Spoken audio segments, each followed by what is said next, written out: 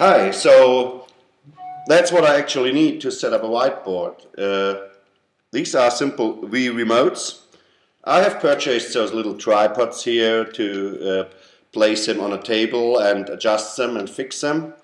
And I have uh, purchased a little infrared pen with a little mouse click on it so it puts an infrared signal which is then detected by those Wii remotes.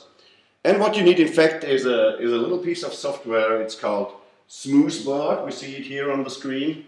And uh, you can download it for free, it's freeware. Uh, professional version is about, I think, $19 or something like this.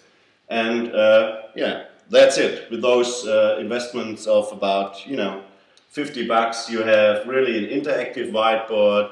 You have the chance to use applications on a normal projection area. And, you know, just think about uh, future use of such kind of tools like, you know, projecting screens on, on glass tables, whatever, and just using this. That's easy. That's all for me now. We uh, go over to SolidWorks now.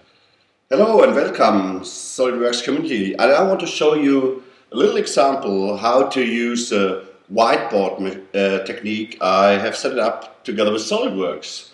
So actually what I have done, I have just uh, put my notebook to the beamer and uh, adjusted two infrared devices, so it's V-remotes actually, and I use this little infrared pen to uh, actually use SolidWorks.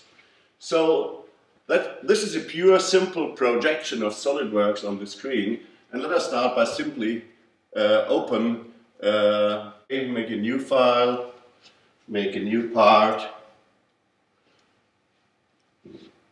in OK, uh, select a plane and OK, go to sketch and uh, insert a new sketch uh, on, on this plane.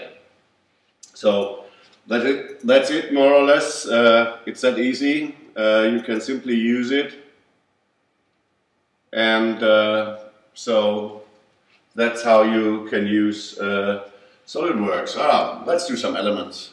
It's fun at all. So you just click on line, click once, and put a straight line here in. You need to select the menu line first. And okay, here we go. Making, let's say, line from here to here. Okay, uh, let's do another line. Okay, maybe from here to here. And again, uh, let's do uh, an arc, uh, a three-point arc, where we start uh, at point one and use the second point and use uh, the third point probably here. So that's more or less how you work in, in, in 3D, uh, in, in a 2D sketch using this little application.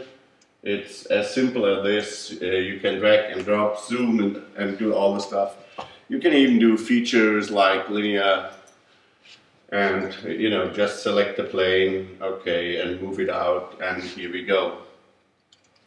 So that's as easy as it as, as, as I can show it here.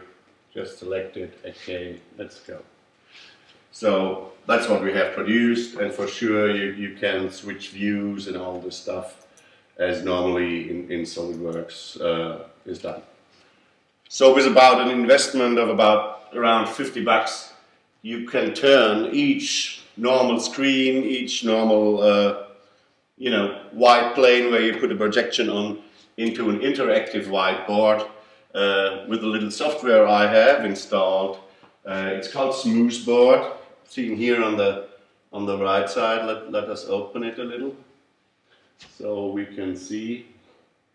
So it's even available as a classical whiteboard application. So besides the navigation of uh, tools, you can do simple annotation.